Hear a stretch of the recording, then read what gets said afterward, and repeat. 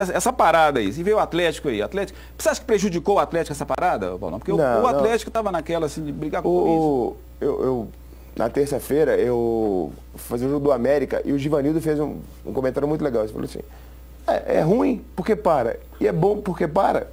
Não, dá na mesma. É. Não, são, não é um mês, são dez diazinhos. O Mano está aproveitando bem, o Levir está aproveitando bem, o Givanildo está aproveitando bem.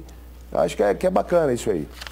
Hoje eu fui, inclusive, no treino do Galo, a parada fez, foi bem, na verdade, ô Pérez. A galera tá climão pra cima, aquele, aquela sensação de descanso. Inclusive o Leandro Donizete, que foi o entrevistado de hoje, falou assim, pra mim foi até bom, porque eu tô com recém-nascido em casa, o menino chora a noite inteira, quer mamar, então eu tô descansando. Quem sabe, se funcionou pro Donizete, pode funcionar pros Vou outros mandar um também. abraço para Maria do Carmo aqui para o Euler, atleticanos lá do bairro Petrolândia estão ligados aí. Eu quero saber, ó, Calazans, a parada né, e o time continua treinando. Isso influi para nós, jornalistas? Para mim não influi nada, eu continuo trabalhando. Pra gente nada, a gente tem que trabalhar dobrado porque a gente tem que correr atrás das tão famosas matérias, as É. sonoras de jogadores e reduzem o tempo de treinamento, então a gente É tem quase que tirar leite de pedra. tirar né? leite de pedra, exatamente. Aquela coisa de expectativa. Mas assim, o Galo na luta pelo título, depois o Corinthians tem jogador que vai voltar da seleção.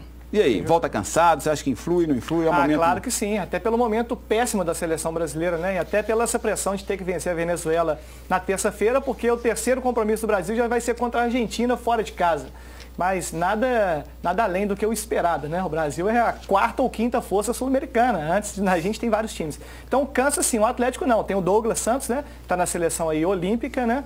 E aguardando esse jogador. Não jogou ontem, né? O amistoso que a seleção fez, um problema lá estomacal. Então vai chegar um pouco mais descansado. Eu acho que nesse ponto o Atlético foi bem menos afetado com as convocações que o Corinthians, sem dúvida alguma. Bebel, você que está fazendo a cobertura lá hoje, me diz aí, a expectativa já é de volta lá no CT? Voltar a jogar? Vamos acabar com esse campeonato logo? Vamos ver o que vai É, dar. e de, de, e de realmente, assim, porque a chance do título ficou real de novo, né? É, É, ter o confronto direto. Agora o Galo enfim. está pensando muito no Corinthians, tem- tá, pode esquecer que tem um internacional aí não, hein? Não, mas, mas É, teve, sim, teve, é. inclusive pergunta nesse sentido, realmente é, é muito difícil não pensar também, né, Claro. Péricles? Então, mas, mas realmente a galera tá focada, eu acho que, que, essa, que essa folga acabou ajudando aí.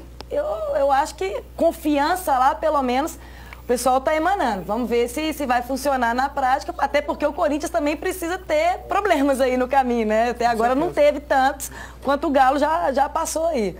Olha só, hoje o cenário está iluminado com a presença da bela Isabel, Renato Siqueira. tá Obrigada, aqui. Renato. Júlio Santos está pedindo aqui. Manda um abraço para nós aí, manda um abraço aí para mim, boi. Olha só, é boi. É vaca. Melhorou, É vaca, melhor vaca. É boi ou vaca? boi tem chifre, vaca tem, nunca leva chifre. Severa, ah, é, começou, né? A Bebel é a chapa quente. Ai, Opa! é lindaça, é charmosa. Obrigada. Charmosa demais, ele acrescenta. Envia um alô para a massa atleticana de Caratinga. Um Beijo, aí, né? galera de Caratinga. O Severo Arança está sempre participando com a gente aqui, ó. É, o programa hoje está animal. Tem vaca, tem gata. Fernando Michel, me ajuda aí, velho. Ô, tá louco, senhor. Reinaldo Lima, minha seleção é a do Galo. Ó. Bruno, vamos ver aqui. Fica antenada sobre as notícias do galão da massa aí, viu, Bebel? Betinho é galo. Ó. Pode deixar, pode Tá deixar. bom, tá aí, a gente antenado. vai lendo à medida possível aqui. Everton Pezão, um abraço para grupos do WhatsApp do Cruzeiro, sempre comercial, rumo a especial. É, tá precisando, comercial do Barreiro ali, né?